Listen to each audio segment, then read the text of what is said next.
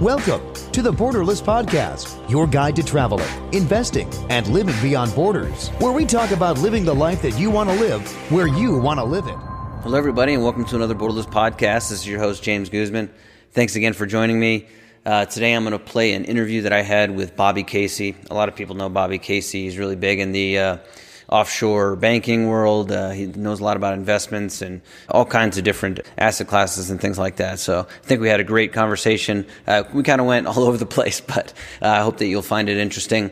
And uh, there are no reviews for me to read this time. So, you know, please give me some reviews. If you enjoy the podcast, then please go to iTunes and put a review on there, and I will read it on the next episode. And I hope that you're enjoying it. Uh, I hope that uh, you know you've been learning some things uh, from listening to the podcast and following the blog and the YouTube channel. If you're not on the mailing list, then I need you to go to the mailing list, borderlessblog.com. Sign up on the mailing list. That's where you're going to get uh, all updates and other things. It's not just a podcast. I've got other things uh, that I send out to people, and also when I appear on other people's shows and stuff like that. So if you want to stay in the loop, then please, please go over there. It's free, and uh, check that out. And uh, when you're on there, and uh, you you know, feel free to uh, reach out, respond to one of the podcasts if you have an opinion about something, or if you want to have somebody on, or something like that let me know. Info at borderlessblog.com. And of course, I wanted to mention the sponsor for the podcast, and that is My Retirement Rehab. Uh, Ian Bond has worked in the finance industry for decades, and he has now put together a what's called the No Nest Egg Retirement Plan, and he's going to help people that are right reaching retirement. Maybe they don't have the uh, financial backing that they thought they would. Maybe the uh, you know the situation has changed a bit, and they are afraid that they're going to be working for the rest of your li- their lives. And the thing is, you can't work for the rest of your lives. Uh, everybody gets older, and that's just not an option. So well, what can you do? Well, he has put together a program uh, where he can help you use some of uh, the the assets that are available to people today, maybe some alternative types of investments, and also how to lower your own budget. And he goes through lots of different strategies, and uh, he's put together a community here as well as a bunch of uh, videos and things like that and he will help you uh, get through that. So check that out. It's in the a link in the description. Uh, definitely go there, and you're going to get in on the ground floor uh, of of this thing because he's putting it together. He's you know found a way to secure his own retirement and um, he's going to you know be helping other people uh, from now on. That's what he wants to do. So let him let Ian Bond help you. Go to the link and uh, check out retirement rehab. All right that's all I got for you today. So I think that you'll really enjoy this interview. And uh, here it goes Borderless. All right, everybody, welcome to another Borderless podcast. And today I got on Bobby Casey. We've spent about three years, and uh, it's good talking to you again. How you doing, Bobby? Hey man, how's it going? Good, uh, good to be back. Absolutely, be... absolutely. You know, you are a, a, a popular guest. People always like to hear your opinion on stuff. You know, Bobby knows he's all going all over the world. He's involved in all kinds of investments as far as uh, crypto and uh, real estate and e-commerce stuff, and um, knows about all these different places as far as location independent living and being an expat. And so you're right up uh, the alley of what we talk here at uh, the Borderless Podcast. And um, so we were just talking about kind of the economy in general. I mean, there's a lot of people that have thought that. Um, because of Trump getting elected, and you know we've seen the stock market going up, and then actually, you know, lately uh, it's been really not doing so great. Um, but you know, a lot of people are thinking that this is going to kind of turn everything around, and uh, maybe you know the states isn't so so in such bad shape after all. Uh, well, so first of all, uh, what do you have to say about that? Yeah, I mean, the, the economy is an interesting thing. We discussed this a little bit. And the, the reality is the economy is usually a function of the previous decision. Well, and I say this purely from a political standpoint, which, um, pardon my French. Actually, I'm not sure this is French, but um, that's fucking stupid. Mm. Like seriously, who who actually considers you know, politics as a, a, a true measurement of happiness is they're out of their fucking minds. But anyway, if you want to look at this purely from a political standpoint, um, and if if anything, the economic activity today happened due to decisions and activity that happened, if you want to think about it politically, in the previous two pre- uh, presidential administrations. So you could really look at what's happening today as a product of you know the Bush and maybe a bit more so the Obama administration. But people people still look at today and like, woohoo, the stock market's up. You know, President Trump is my hero. I mean, they can't see past. You know, we, we mentioned they're like they're like a horse with blinders on. They're like, I can't see anything outside of this this narrow band of uh, field or this narrow field of vision. Right? right. They, they don't they can't see anything outside of there. It, I mean, I have this opinion anyway. Pe- people have the the shortest memory of any creature, right? They have humans have the shortest memory of any creature on Earth, and you hear people talk about you know certain things. We talk about like the dollar and the the the failure of fiat currency, and people say, "What do you mean the failure of fiat currency? I mean it's going it's it's going to last forever. You know, the U.S. dollar is the uh, the safest currency in the world, reserve currency in the world. We don't we don't even think that in the in the course of human history, the dollar, the U.S. dollar in its current form is only about hundred years old, right?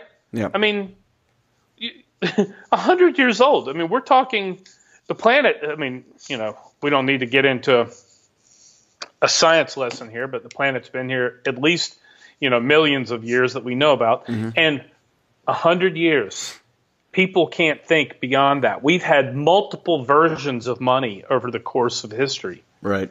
Right. I mean, eh, it's it's all an evolution, and we're at the end of this. We're at the tail end of this U.S. dollar revolution. There's no way this is going to continue, but people have a narrow, you know, narrow field of vision. They can't. Yeah, see. no, absolutely. I, you know, and this has been apparent to me for a long time. You know, I, I hmm. thought that, you know, uh, the dollar was going to crash a while ago, and you know now it's just it, it it's kind of strange. Like we've been in this kind of Frankenstein malaise, weird economy for a while, and um, you know what people have have always said is like you know compared to what you know, uh, and that you know it's the best. The, the dollar is the best thing going on right now, uh, even though it's not great. Um, it's the um, least ugly girl at the dance, right? right. but I mean, yeah, ugly it, girl it's just crazy dance. how long they can continue this. I mean, because it's obviously a debt based system, and Americans have no savings. Um, and it's just you know so many uh, you know markets in the U.S. are are just run on complete uh, you know fake credit. I mean, if you look at the medical system and the and the the education system, um, all these you know the the banking system, uh, Silicon Valley, you know, and it's just crazy because you know for someone that looks at economics like rationally, it doesn't make any sense. You know, how do you make sense of all this? Well, so here's here's an interesting thought uh, thought exercise. Imagine today if we paid off every single dollar of debt on Earth, or euro, or yen, or uh, Swiss franc, or whatever. If we paid off every single penny of debt owed on Earth, we'd have no money left. Nothing. We couldn't even pay off all the debt we right. have with the money that we currently have in existence. The point is, all money right now is debt. It's a right. function of debt. We don't have any money itself is debt right now. Mm-hmm. Not, and people say, well, you know, money has value. Well, it hasn't. It has no intrinsic value. But then again, you know, and I'm not a gold bug. I, I like gold. It's cool. It's pretty. Whatever. But gold doesn't really have any intrinsic value, right? I think a one ounce. Um, what's a gold uh, Canadian maple leaf, for example. I take a one ounce Canadian maple leaf. I mean, what utility does that really have, right? I mean, it can be used a little bit in circuit boards for electricity. It's got a little bit of utility there, um, but not not much else, right? So, I mean, what what is money other than what we what we trust and believe it to be is what it is. But at least gold was not a function of debt. But today, all paper currency, all fiat is a function of debt. It is only created through debt, which is fascinating. But people yeah. forget that, right? Just like back to the political discussion, people, you know, people forget that you know, really they can't think beyond a certain field of vision. And President Trump is my hero because the stock market's going up. Well, I mean, come on, he's been in office one year. That's like saying President Obama was um, the most peaceful president in U.S. history because he got a Nobel Peace Prize. Honestly, right. how fucking stupid is that? I mean, he's the only president in U.S. history that was literally at war every single day of his presidency for two terms. But yeah, yeah sure, he's he's the most peaceful guy ever because yeah. he got a Nobel Peace Prize. People don't think about stuff like that. Yeah. Well, you know what's crazy to me is that so even in you know the Keynesian terms, okay, like all of these these top economists are self-proclaimed, you know, Keynesians, and uh, you know, according to them, when you have a you know a boom when you uh, in, in the economy, that's the time you need to be saving, not running huge deficits, and so that you can save some some powder for when the economy goes down. Uh, but now, you know, we've been in a bull market for what you know more than five years now, and we've been uh, in a uh, bull market for nine years. Yeah, right.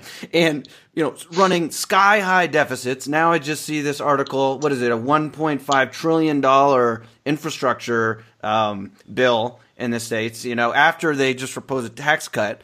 So it's like, you know, what the hell? They're it's just like throwing everything out the window. So I guess you know when when the bull market uh, does um, stop, I mean we're really fucked. You know, it's funny you mentioned that that that infrastructure bill in the new the new budget.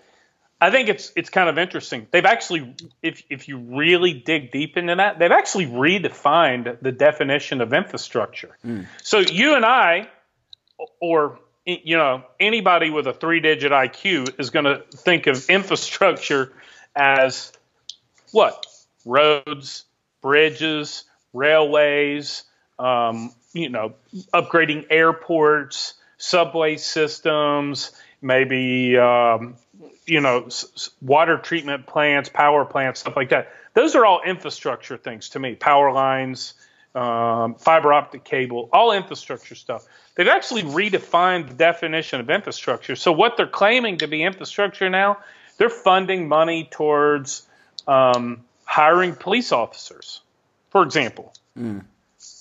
Tell me again how increasing the staff of the Chicago Police Department by 20% or whatever the number is is an infrastructure. That's not infrastructure. Right. Fixing the roads in Chicago's infrastructure, right? You know, putting in fiber optic cable is infrastructure. Hiring 20% more police officers is not infrastructure. I, it, they've actually redefined the definition of infrastructure in this bill, which is wow. fascinating to me. Yeah. So it goes back to my view. A lot of people s- still put too much weight on on politics. I mean, I it's funny whenever I come back to the states, I can't go to a coffee shop, or I mean, I can't even go with a friend, like a, a local friend here, without having a long term, long standing conversation on politics. You can't go to a coffee shop without overhearing everybody around you talking about politics. Right. When I'm in Europe, Nobody talks about politics. Yeah. Most people don't give a shit about politics. Um, but here, man, it's like it's like a national sport to You're talk right. about politics, and people put too much weight on it. Like it really matters. Like, oh my god, I can't believe we have President Trump as a president. He's a misogynistic pig. well, so fucking what? Right. Whatever. He's yeah. a misogynist. And right. and what? How does yeah. that impact your day to day life? Well, he's an embarrassment to the country. And? So, does your cereal taste different in the morning because he's an embarrassment to the country, right? Does it right. make any difference how, how your coffee tastes when you go on your coffee break at 10 15? Yeah. I mean, you watch your foot, you watch the Super Bowl last weekend. Did somehow him being a misogynist pig affect whether I don't even know who played in the Super Bowl, but did did it affect who won your sports ball championship? No, no, yeah. no difference whatsoever. Right. You had a glass of wine when you got home from work. Was it was it more bitter because you know he's a misogynist? No, of course not. Well, you know, one of the so, things that I notice uh, always when I go back to the states is even in bars. I mean, well, everywhere, and you know, they, they just have these big screens with this stupid uh, news on or whatever. It's everywhere. It's at bars. I mean, it's just like 10, 20 screen. I was at this bar in San Diego a couple weeks ago, and it's just like you know, it's a bar. It's a bar. You're supposed to be hanging out talking to people, and they just got huge screens.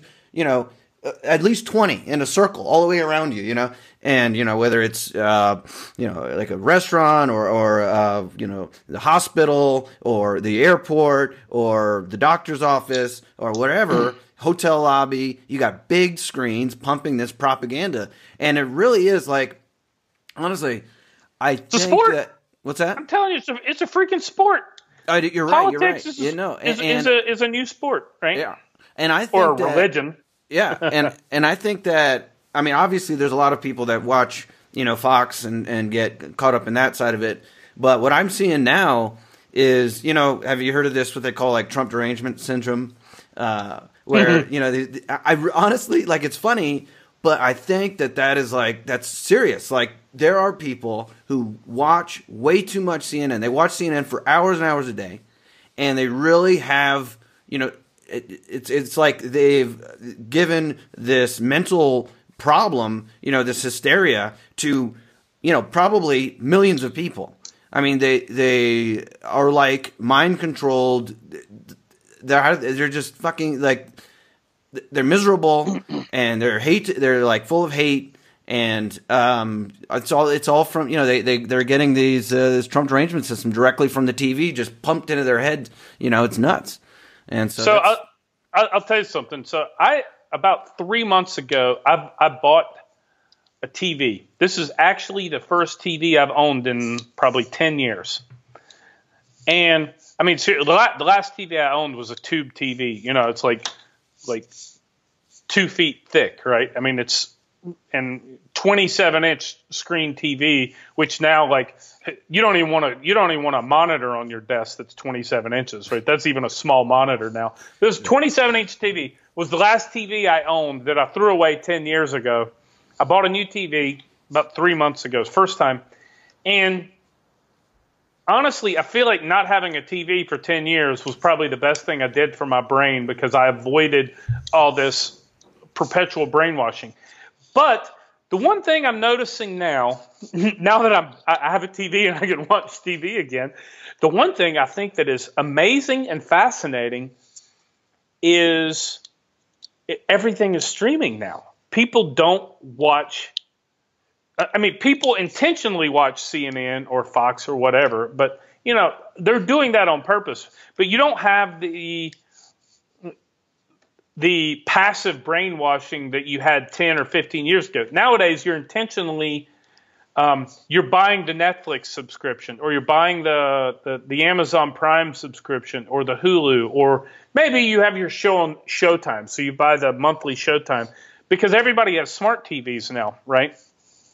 So you at least you at least can selectively you know filter out what y- you're watching. So actually, I believe it to be a good thing. I actually find it to be a very, very positive thing.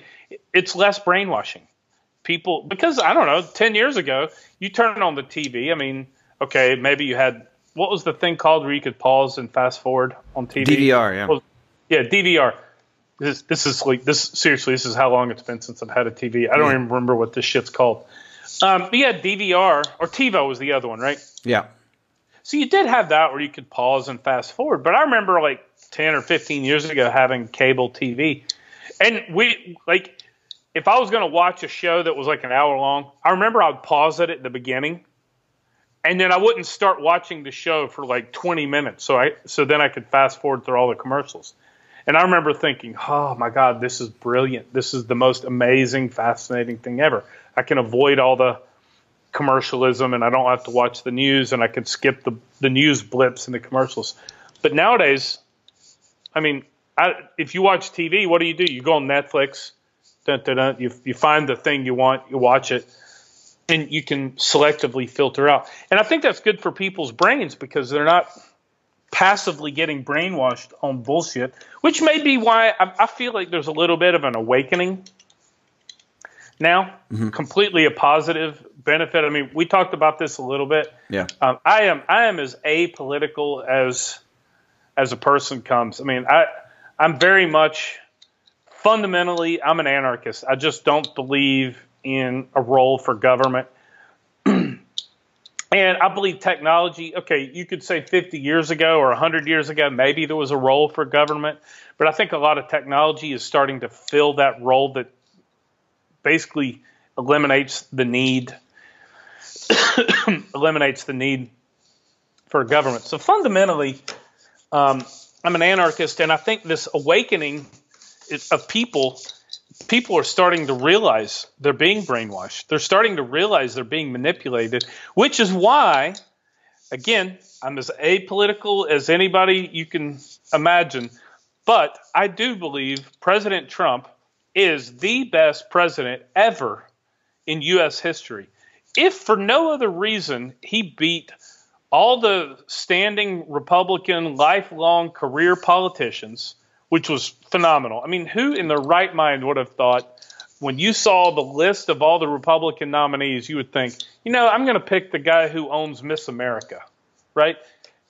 You would never guess Donald Trump. I mean, he's a goofball. Well, he basically had to he basically had to blow up the Republican Party to run. I think that's what's funny. A lot of Democrats get mad about it, but it's like he's not really a Republican. I mean, he had to, like I said, he had to blow up the entire party that they had. Nobody, none of the nobody in the Republican Party wanted him to run. He just bulldozed his way in there. So it was pretty incredible. He did, but the Republicans nominated him, right? Which means the people that, that, that the the registered Republicans that vote in the primaries, they all said, "Listen, the dozen of you career politicians, we're sick of your bullshit. We're sick of your cronyism, blah blah blah. We're sick of all your bullshit. We're going to elect the outsider." And then he blew up. He blew up mainstream media. I mean, he won the fucking election on Twitter. I don't care what anybody says, how stupid and ridiculous his tweets are. It's marketing. People like people lose their shit about his Twitter posts or his tweets, but they don't understand he's a marketing genius. He has a marketing genius that manages all of his social media campaigns. Yeah. He is a brilliant marketer. He won the election on Twitter. I don't care what you say about it. Right. He blew up mainstream media.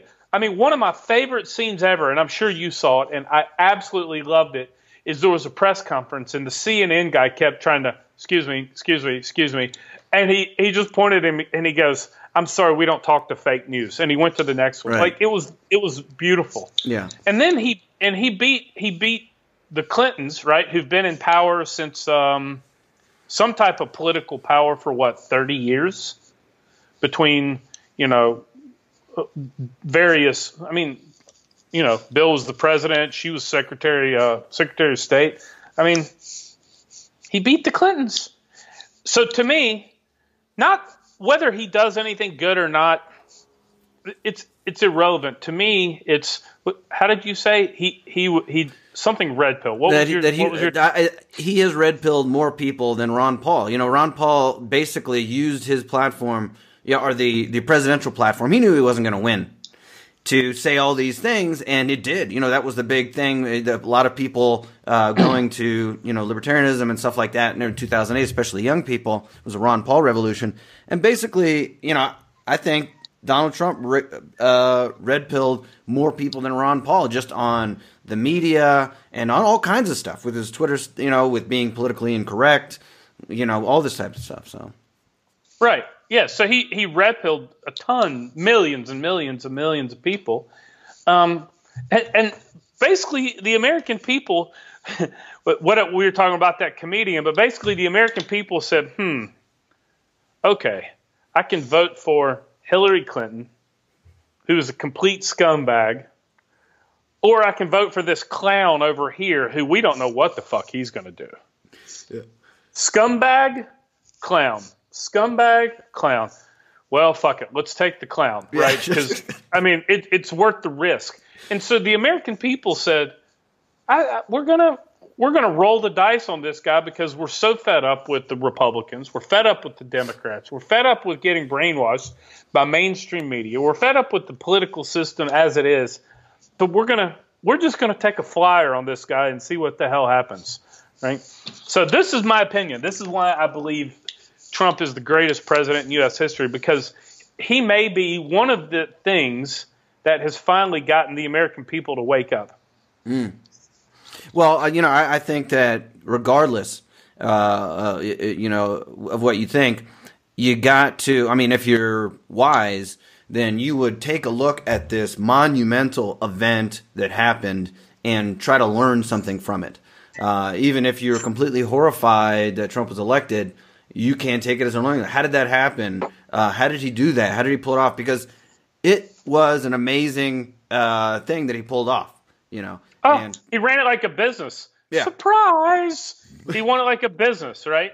I mean, you know, people say, "Oh, he got murdered in California and New York. Like he didn't get any votes." Yeah, because he spent zero zero campaign dollars in California and New York because the initial polls showed he had zero chance of winning. Well, if you're a business person and all the an- analysis says if I build a factory in whatever, Ohio, and I'm going to lose money on everything I produce in Ohio, what kind of dumbass business person says, well, let me invest all my money in Ohio? Right. Right? That's stupid. So he says, well, I'm not going to, I have no chance of winning. And in the electoral college system, even if I win 49.9%, I don't get the electoral votes anyway. So why throw all my money at the two most expensive states to campaign in? Let me spend all my money everywhere else where I have a chance. So right. he ran it like a business, right? Um, people just can't they just can't wrap their head around it. Oh, he lost the popular vote. Of course he did. I mean, because California and New York are the two most populous states. Yeah. If he would have spent five times the amount of money, you know, like like uh, Hillary did, he would have gotten a lot more votes. Maybe he would have won the popular vote. Yeah. I don't know. Well, who cares? He That's probably, not the game they're playing. That doesn't exactly. make any sense. That's he played the game like a business person, yeah. right? I mean, even if he spent five times the money, he probably still wouldn't have won New York and California. He he might have won the electoral vote. Um, I mean, uh, sorry, the popular vote. But I mean, who knows? But he wasn't stupid. Why why spend all that money? Right. So uh, as we're talking about this, you know, there's this big thing um, about you know the memo memo and the FISA uh, surveillance and stuff like that. And the funniest thing is that in the middle of that you know, where he has uh, Obama, uh, you know, uh, and and well, people from Obama's administration, uh, you know, giving false information to on these rubber stamp FISA courts to, um, uh, you know, spy on some people in his administration, and then at the same time, they're like passing bills that would allow more of this type of surveillance and stuff like that. I think I saw an, yeah an article about that, right? Yeah. Yeah. Yeah, I mean, ba- basically, he extended he extended FISA, right? He yeah. extended it so and and made it a little bit worse, right? Because, I mean, he he's I mean he's president, right? So he he wants he wants that control. I mean, he's becoming a politician. Mm. He wasn't one before, but he's becoming one. Now, he has done some good things. Not to get off topic on FISA, but one thing I do love that he did since he's taken office. Um, they basically laid off almost half the uh, IRS staff, which is, I mean, huge, huge win. Yeah, really. So it, they don't have the manpower to go after all the all the people um, on um, audits and stuff like they used to. I mean, he's he's killed a lot of a lot of stuff like that, right? Just because, I mean, he's a business person and he recognizes i mean if you look at his tax plan it's not great for everybody but it's great for more it's great for probably 80% of the people yeah i mean overall it's it's a it's a net positive of course you and i would like to see a zero tax right mm. but i mean that's probably not going to happen ron paul i mean even if we elected ron paul he wouldn't he wouldn't dismantle the treasure or the the irs he he could try. He could make it as a campaign promise, and he could say all he wanted, but it ain't going to happen. Right. Um, so at least doing something that's a net positive. But FISA is just it's just more and more overreaching powers. I mean, it was something that has it has to be renewed, or like uh, it's every five years, I believe. I forget now, four years or five years. I think five years. And he just renewed it and made it a little bit worse right? Yeah. So now, now we can wiretap American citizens. Yay! you know, Right. Yeah, whatever. It's, I mean, it's not like we weren't doing it anyway. Like, what difference does the law? If if if the NSA or the FBI wants to wiretap you or me, I don't think a law is going to stop them. Or it it just gives them. If they want to take us to court for it, it allows them to use it as a as evidence against us. Whereas if if if it wasn't legal, they couldn't use it as evidence against us in court. But they would find some other way. Right.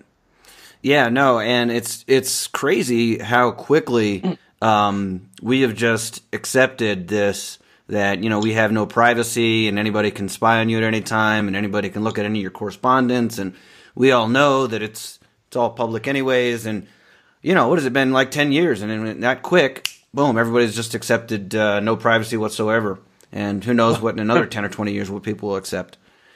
Oh no, yeah. I mean now now you're now now people have these um, these Google Home devices and these Amazon Alexa devices. I, I I'm not a tinfoil hat guy. Like I, I'm not so paranoid that I think the NSA is spying on us through our our Alexa device. But technically they could. Like it is technically a possibility that all of a sudden James becomes a person of interest and he happens to have an Alexa at home.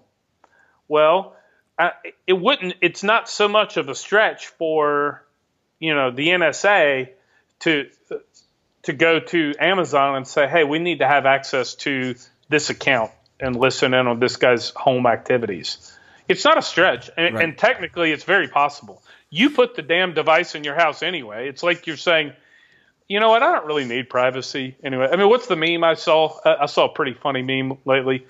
Somebody at like it was somebody asked the girl, um, "Do you have a security system for your house?" and she said, "No, no. I just say some terroristy shit to my Alexa, and then the NSA watches my house for me." right You know, it's kind of funny, right? yeah in a sense, but I mean, really, you know, there all that data probably does route through some NSA server somewhere and has some algorithms that pick up on certain certain patterns and keywords and topics. Yeah, well, I mean, I think the you know the idea is is that uh, we all know you know big data, right? Big data has been the, the the buzzword for a lot of these tech companies for a while, and um, with whether it's Alexa or Siri or whatever, uh, all of your you know online uh, communications and everything you do on there as far as Web 2.0, uh, it's all been built around collecting everything um, about you, and they have just like huge files. You would be absolutely amazed at how much information they have on you. They can figure out, you know, what everything that you like. You know, what type of, uh, you know, where where your politics are, where you like to, you know, what, what are your hobbies, uh, how much money you have, where you spend mo- most of your time, what type of sex you like, whatever. You know what I mean? The- the- And uh, I know, uh, just reading this article the other day, they said that somebody had sued the government, or no, I'm sorry, they sued the um, Match.com uh, for their files on their on like their Tinder, and just with somebody's Tinder profile, they had 600 pages of information on you know what, what they're likely to swipe on, how long they're likely to have a conversation, and all this type of stuff, like straight out of Black Mirror. You know, I don't know if you've seen this series, the latest Black Mirror. Oh Mirror. God, yeah, I love Yeah, Black Mirror. Great. But um, you know, so the idea is like with all these the Internet of Things, and you know that we're gonna have five G everywhere, and all this fast internet, and all these smart devices, and it all can listen to us and puts a profile together, and you know basically have us living in these like smart cities. I mean, I do think that's that's what they want to do. I mean, that you know easily control people, uh, especially with um, when you know you, if you want to implement something like they're doing in China, where you have uh, you know the serial credit score, where you know if you like the wrong thing or you happen to walk in a place that's not you know popular, you have a friend who might have said something politically incorrect at some point in his life. Uh, again, like the Black Mirror uh, episode, and um, because of that, oh, you know, you can't get a job and you can't you know, open a bank account or whatever. And so there are all kinds of things. And I think that this is, yeah, this is happening, and and it's happening like quickly. You know what I mean? So maybe that is maybe I am in the uh, the uh, tinfoil hat uh, crowd, but that's I mean it seems pretty obvious happening to me. It's crazy, but I don't know. It's, it's happening. It's not that they want it; it's that we want it. Yeah.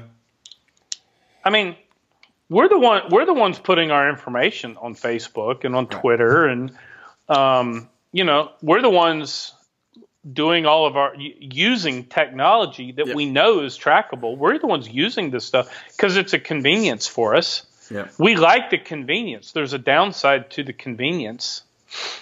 And another thing um, I would um, say is a lot of people don't realize. I mean, the government was instrumental in building a lot of these tech companies. A lot of the technology that we use uh, in smart devices and all this type of stuff was developed by the Defense Department and uh, a lot of you know a lot of the you know these companies even from the very beginning they had offices with uh, you know government agents in there. So it's the you know I, I feel like they've kind of used uh, the they, they have packaged the uh, authoritarian system kind of in a liberal uh, like a classical liberal um, you know free market sense. Like oh but these are companies so it's okay, but it's actually you know under that guise because everybody you know more or less accepts uh, free market economics uh, you know, nowadays more than the past, and uh, so they just use that as far as like, oh yeah, these these are these are private companies, so it's okay, they can do all this stuff, and there's nothing you can say about it. But it's been you know the same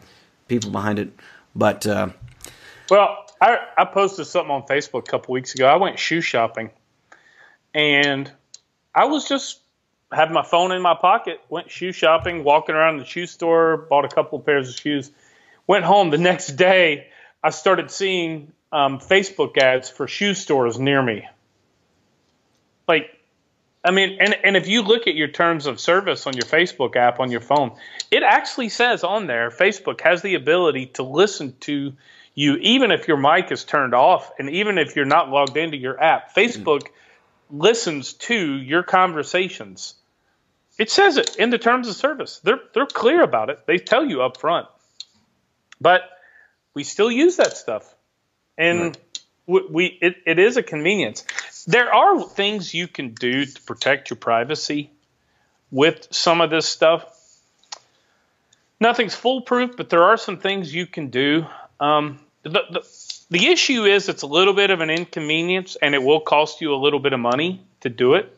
And so people are like, ah, you know what? It's not worth it, right? right? Like using a VPN, for example. You can use a VPN on your computer and on your smartphone so that you and you can set them up if I mean depending on the VPN, but you can set them up where you don't it doesn't allow any cookies on your devices. So the, the websites themselves are not learning any data about you because it, it blocks all cookies, right? You can set your VPN to log you in from a certain IP address. You can choose do I want to log in from Malaysia, Sweden, Mexico, Chile? You can choose where you log in from on your IP address to protect your, you know, some of your data there. You can use, you know, encrypted emails. Like you can just have PG, PGP in your emails. But that's, I mean, all that stuff is kind of, you know, it, it creates some inconveniences, right? So if I want to send you an encrypted email, you need to download the uh, the the software that allows you to communicate with me. I have to send you my pri- send you my email key, my private key, so you can save me in your email system. I mean, it's it's not like just hey James, quick email, right? Right. It's I have to send you this. You have to download the program. You have to upload the, the file, and then we and then we can communicate in an encrypted format. And that those additional roadblocks people are like, eh, eh, fuck it. I'll yeah. give up my privacy, right? Yeah. It's easier just to give up my privacy. So your point, eh, what you were saying is that's what they want. It's not necessarily what they want. It's what we want. You know, as as as humans, yeah. we want the we want the convenience and we want the simplicity of it, and we're willing. We're completely willing. I don't mean me or you. I use a lot of these privacy things. I do a ton of this stuff. I mean, like for example, you would never find my home address in public record anywhere ever. It doesn't exist um, because I've been, I've been intentional and conscientious about the data I provide to da- data aggregators, you know, these databases that aggregate your data. You'll never find my home address there. Um, s- stuff like that. You'll you you couldn't even you, you would net if, even if you pulled my credit report, you couldn't guess which state I live in, even if you could pick a state that I lived in, right? Um, you could probably guess on my Facebook where I live, but it doesn't say it. You, if you read enough, you could probably guess it, or if you had the right data tools. But you could you couldn't guess exactly my address. There's no way. Right. Um, but you know, I, I have a I, I have uh, let's say a junior tinfoil hat, right? so I'm I'm I'm uh I, am conscientious about this stuff, and I, I do intentionally try to protect my privacy. But it, I mean, nothing's foolproof, but it, it's you know it's it's something. It's better than nothing. But most people aren't willing to do that. Most people are just most. I mean, the vast majority of people are like, eh, fuck it. I don't have anything to hide. Who cares? I'll just I'll put it all out there. Yeah, yeah, for sure. Um, you know, I, I want to talk about living internationally. I've been seeing a lot more people um, in the states, but all, well, let me just say real quick, there have been a ton of people from guess guess which state, California, that have been contacting me like California, crazy, getting out of there. I mean, it's like I, I, it's definitely more than half the people um, that you know are interested in my relocation package that I do in San Miguel de Allende. And just that I, ta- I talked to on the internet or so there from California. I think I read an article the other day. Was specifically about San Francisco, but I think people are you know rushing out of California like crazy. Um, but you know, I've seen a, a lot of people asking, you know, just in general, you know, it doesn't seem like there's too many places to go. Like, you know, people like, where can I go that's not fucked up? You know what I mean? So you seem to really like um, Latvia, right? A lot. Uh, you've been all over the, the, the world and stuff like that. So, so what is it about over there that you've liked so much? And uh, what are some other kind of recommendations for people that are looking around and trying to, you know, look for a good place to go? Okay, I'll get to that in just a second. I want to hit on your point you mentioned though. Um, I am. I'm also seeing a big trend of people trying to escape, but I think a lot of that is a function of technology now, Mm-hmm. And also it's a changing in the job marketplace. Yeah. 10, 20 years ago, people really wanted you sitting at a desk, punching a clock at eight o'clock, checking out at six o'clock or whatever, right? Nowadays, there's a big trend. Even if you work for a company, there's a big trend for remote work. You know, you, you can work from home. You log in. You, you have a phone system that rings. You know, puts you in the phone tree. I mean, even like JetBlue. I don't know if you know JetBlue, the the airline. Yeah. Um, somebody told me one time that JetBlue, like the reps that that book plane tickets and stuff, they all work from home, and I thought, no way. So I called, and normally I book all my plane tickets online, but one time I called and I talked to the lady on the phone because I was curious, and I said, hey. Um, just out of curiosity, do you work from home or do you work in a call center? And she goes, No, I work from home. I'm sitting at my house here in uh, somewhere in Utah. Yeah. And we got to talking to the lady on the phone, and she said basically she went to a training at wherever I guess wherever JetBlue's headquarters are. I don't know. She went to training to learn her job, and they they sent her a package with a computer, a phone system, a headset, all the desk hardware she would need to do her job, and they paid for her internet connection. And the technology allows her sitting at her desk to be in the phone tree. You know, when you call JetBlue, please please wait one minute for your uh, next available agent. What Yep. puts her in the phone tree to receive the call anywhere in the world, right? And so there's a big trend because technology allows this. Companies are like, why are we paying for all this huge office space when we can have our workers, you know, work from home? And they're more productive and happier anyway. And even more so, there's the big trend towards um, outsourcing. I've got a friend of mine who's an industrial engineer, and he went to his boss a few years ago and said, "Hey, how about you fire me? You know, hire me as a contractor Yeah. to do the work, and I'll work from home." And now he he spends his winters in Montana skiing, and he spends his summers in Greece. You know, but he does his he does his job, Yeah.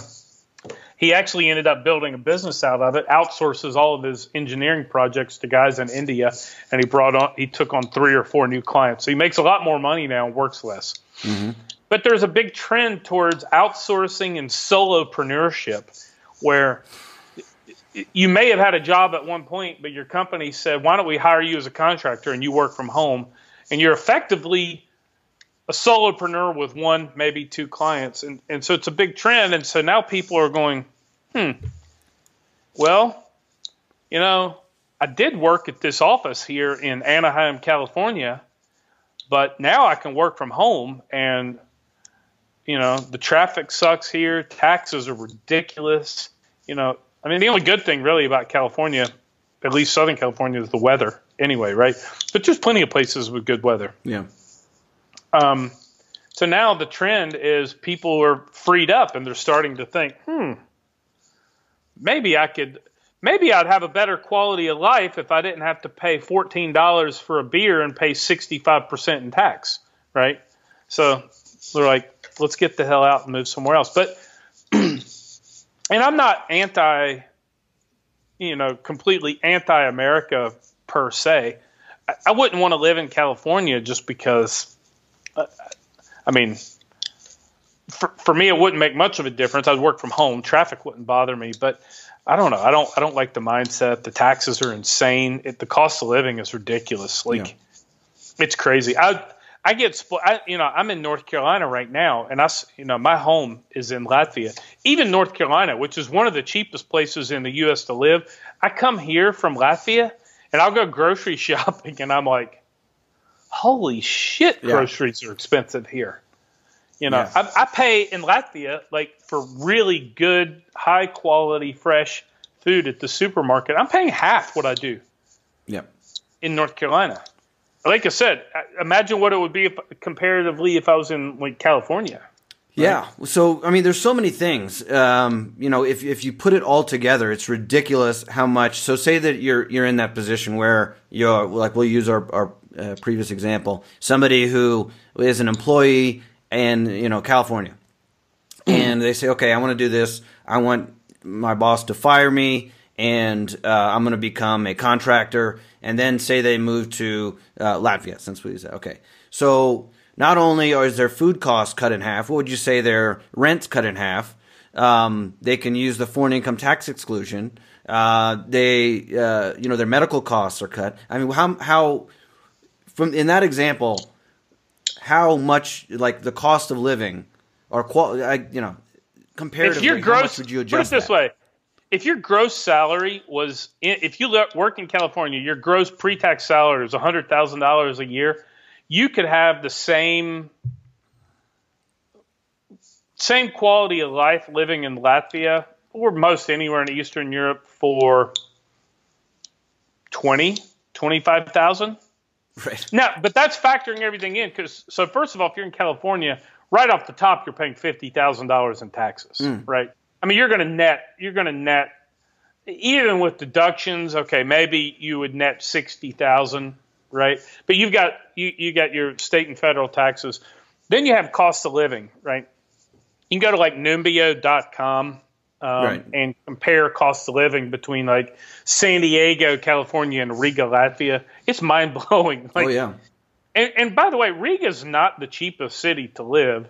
Um, it's and I've seen it go up since I've I've lived there for several years. I've seen it go up in price, but still, like when I go grocery shopping in Latvia, I walk out and I'm like, that's a lot of food for you know four bags of groceries. When I go to grocery store in North Carolina, it's like, fucking shit, that's expensive. Like it's so much more expensive. It's crazy. Yeah. Um, you know, um, but you got to figure number one, um you're going to get the foreign earned income exclusion. So you you can essentially not pay any tax. I mean, I'm simplifying because there's some there's a lot of details involved with that, but you can effectively eliminate your your income tax rate if you're living kind of as a tourist in different countries. Um, you know, and working remotely, that kind of thing. Um, number two, healthcare costs. Right off the bat, if you I mean, I'm 43. If I lived in California right now and had had even like a, a minimal kind of health insurance policy, I bet I'd be paying six, seven hundred bucks a month for an insurance policy. So it's what eight thousand dollars, seven, eight thousand dollars a year, plus whatever I'd pay for a couple of copays and office visits and any any deductible per year. So I'm eight to ten thousand dollars a year right off the top is what I'm spending in healthcare costs, assuming nothing crazy happens. Just with health the yeah. health insurance cost itself plus plus my uh, uh, any little stuff I might do for checkups and stuff. Right. So I'm let's say eight grand a year. So that's what uh, six hundred, almost seven hundred bucks a month, right there. I mean that's you know not insignificant money, right? Um, so if I were going to move to Latvia from California, first of all, I wouldn't have health insurance other than the bare minimum requirement you need to establish residency there. Because like I, I have the bare minimum, which just covers me for anything catastrophic over fifteen thousand euros. Um, but I don't, I don't. I mean, when I when I go to a doctor, I pay cash. If I go get my yeah. teeth cleaned, I pay. I just pay cash. If yeah, I go, too. You know, to get a blood test or whatever. I just pay cash. I'll give you an example. I had um, an ear infection a few weeks ago, and I just went to the doctor to get it checked out, make sure nothing was wrong, and went to the doctor. She's like, "Yeah, no problem. Here's some cream, some prescription cream. Just put in it for a couple of days. You'll be good." So my doctor visit and the prescription cream that she gave me was 20 they're 35 euros. Mm. So what's that, like $42 or something like that? That was the cash price, by the way. Yeah. This is not my copay. This is not my deductible. My cash price was about $42 for a doctor's visit, which I got the appointment, by the way, same day. Right. None of this socialized medicine bullshit where I got to get a doctor's appointment six weeks in advance. right. This is a private. This is a private doctor, not not state not not like state care. This is a you know private private doctor. Yeah, that's actually a little more expensive than here. yeah, so if I go get my teeth cleaned, it's like fifteen or twenty euros, depending on which dentist I go to. So it's what twenty to twenty five bucks, basically. Right. Um, you know, so cost of living is is good. Quality of life's very good. Um, you know, I mean, they they have cold winters, so you, got to think about like weather wise. But people ask me like, what should I? You know, I, I want I really want to move abroad and and try something new and live somewhere else. Where should I move? I tell people you really need to make that's really such a personal decision. There's so many factors you got to consider. One is weather. Um, some people hate hot weather. Some people hate cold weather. You know, some people love cold weather. You know, they love snow. um, you got to consider language um, and or your ability to learn a new language right? I mean like in latvia everyone speaks english. You wouldn't have a problem there in english but it would benefit you quite a bit to learn latvian and or russian. Is it a requirement? Nah you could you could live there for years and never never learn a, either language and be perfectly fine. But medellin colombia? Forget it you're you're going to hate it in Medellin if you don't learn Spanish because hmm. nobody speaks English there. I mean, these are just factors you got to consider. Portugal, you move to Lisbon, great city. I love Portugal. I love Lisbon. The coastal area is amazing. I've noticed a lot of people interested in, in going there. Portugal, by the way, it's fantastic. Yeah, but Portuguese people, by and large, don't speak English. Right. So you, you don't have a lot of. I mean, if you're in an expat area or something, of course you're going to have a lot of English speakers. But if you're gonna like you know ingratiate yourself with the local community you're probably going to at least learn some basic portuguese. Right. So i mean language is an issue. Um, if you're just not willing to learn a foreign language you know places like medellin it's not going to be the thing for you. It's, right. it's just not going to work for you. You're going to hate it there because the only people you're going to talk to are other expats. You'll never you'll never like have any local friends. It it just it's it'll be tedious. Yeah. Um, same in Portugal. So that's that's another thing. Culture is another thing to consider. You know, um, I've, I've been to a lot of different countries around the world, and cultures are different. For me, I prefer European culture. Mm. Um, I just I just prefer it. I really like Eastern European culture. Some people are going to find that very difficult because a lot of times the initial impression of, of Eastern European people in general is they're very cold and standoffish. Mm. Um, and that, you know, I could definitely see how people get that initial impression, but um, I like the directness and I, I find a lot of times um, a lot of Eastern European people are very, very friendly once you get to know them. It's not so hard to make friends, but your initial impression is, you know, like Latin Latin culture. My God, everybody's friendly, right? Yeah. People walk down the street saying hello to you, like just randomly passing on the street. Mm. Right? It's probably like that in Mexico, right? Yeah. Um, I know it is in Colombia. Like you just walk down the street and people are just saying hello to you on the street. If you do that in Latvia, people think you have a mental disorder. Is right. is uh, I'm just curious. Is Latvia or most people there? Is that like a Orthodox Christian? Is that the religion there? Well, historically, I mean, it's a very pagan.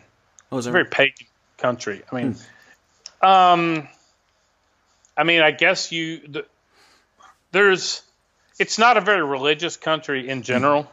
Okay. Um, I'd say you know a lot of a lot of atheists, a lot of pagans. Um, a lot of pagans. I mean, really? Yeah. I mean, yeah. Okay. Yeah. I mean, I've I've been to a couple of pagan weddings. They're wow. they're the best. They're absolutely the best weddings to go to. They're cool. okay. Um. The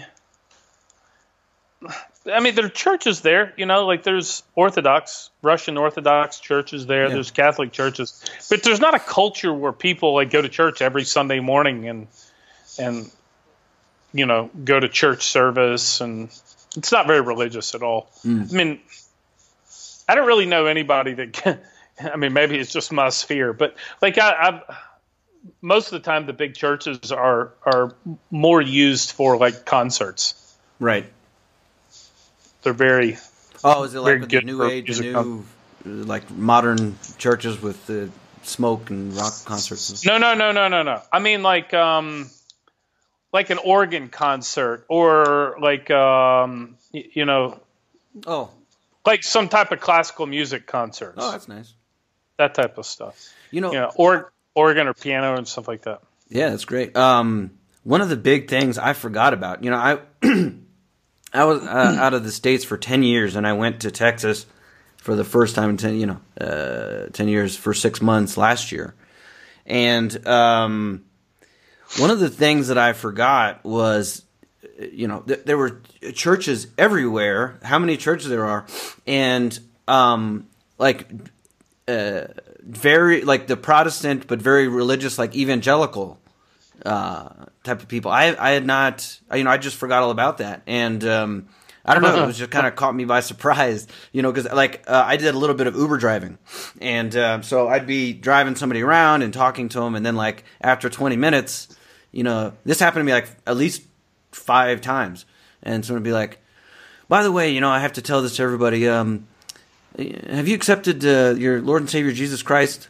right? And would just start like with all this. I want you to come to church with me, and like really like evangelical type stuff. It's like what? It just caught me off guard, like you know. And um, then I have to think, did I say anything in the last twenty minutes? Like that was like.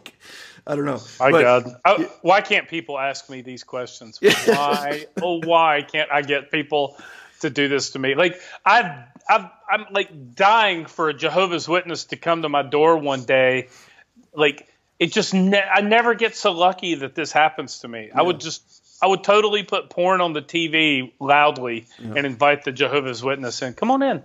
Well, they when's have your, they actually here even here in Mexico they have uh, American Jehovah's Witnesses that go door to door, so it's kind of interesting. Uh, let's. I do want to before we wrap up. I, I do want to talk about the uh, you have a uh, offshore banking report. You have all different types of reports and stuff like that. But I did want to talk a little bit about this, and I'm going to put a link to it. Um, it's basically, uh, you know, it's only twenty dollars, but you go through all the different. You know, if somebody does want to start thinking internationally, uh, putting some money, um, you know, overseas in different jurisdictions, uh, you've gone through. I mean, it's not a full comprehensive, you know, everything about every, but it gives you some options, right? So maybe you know, talk a little bit about that. Yeah, we we wrote this report last year. Um, it's just a bunch of banks that bunch of banks and financial service providers that we recommend out to out to our clients that we that we have some experience with. Um, yeah, it, I mean, we don't go into the financial details of each bank and their financial status and all that stuff. I mean, like you said, it's a twenty dollar report. I'm not I'm not writing up a financial analysis of twenty banks for twenty bucks, right? It's not not going to happen. But we go into the pros and cons of each bank and and um, which banks we recommend for what, how to open the accounts, if you need to appear in person, or if you can do it online, or if you need an introducer and stuff like that. And we have we have some other options. We have a couple of banks in there you can open actually right online. You can have the account open in 15, 20 minutes. We got a couple of um, um, investment options like online, like peer to peer lending platforms that we recommend that are also pretty good in there that that have really good returns, non-U.S. stuff. So, I mean, if if you're really considering this internationalization strategy for yourself, you know, or your business or your wealth, whatever, if you're considering this, I mean, the step one really is to open a bank account outside of the country where you live, whether you're American or Canadian, Mexican, German, you know, wherever. You, you, you need to be diversified with some of your finances outside of your home country. Period. I mean, it's yeah, it, it's it's pretty pretty straightforward there. Um, and even if you don't, even if you're not like looking to become an expat, it's it's still a really really good idea to diversify. Honestly, I can't tell you once you start, it, especially for Americans, once you start banking outside of the U.S., you start to realize how terrible U.S. banks are. Like, like I, one of the banks I work with, um, I could literally on my phone in a, in on my phone in three clicks send a payment, an instant payment transfer on on my phone with three clicks and be done with it. It'd take me less than a minute to do it. If I try to use like a Bank of America or a Wells Fargo banking app to send an international bank transfer from my phone, first of all, I'd probably never figure out how to do it. Second, it'd probably take you 30 clicks to get to the point where you actually send the money. And that's assuming it's even possible. Like once you start, like you're using your Bank of America, for example, banking app, you're like, but the only thing you can do with your Bank America banking app online is pay your Bank of America credit card. that's about the only thing like that's easy to do. Um, but you, but once you, once you start banking outside of the U.S., you start to realize like, my God, this is so user friendly, so easy. I can hold 30 or 40 different currencies in my bank account. You know, I can have I can have a debit card in euros, dollars, uh, Swiss francs, yen, and pesos all at the same time. You know, you go to your Bank of America and you say, "Hey, I want to hold thirty different currencies in my account." They look at you like, "What? What are you talking about? We only do dollars. You can't hold you can't hold another currency." So. I mean, if for no other reason for diversification, some of your cash and some of your investments, having a having a bank account's a really, really good idea. Yeah, absolutely. and I also wanted to touch on real quick before we were talking about cryptocurrency. There's a lot of people with some, you know, holdings in cryptocurrency now, and maybe they're not sure um, about, you know, what to do with that. Uh, I know that there's some restrictions, like you talked about. I think it was Wells Fargo that said if you had something to, do with cryptocurrency at all, they couldn't uh, open your bank account. So, what are some of the options? What what uh, might people want to think about if they have some uh, some gains in cryptocurrency that they're looking to uh, to get into the bank? Yeah, obviously, crypto is a, a, hot topic right now. A lot of people are sitting on some pretty big gains. of course, it depends on when you got in.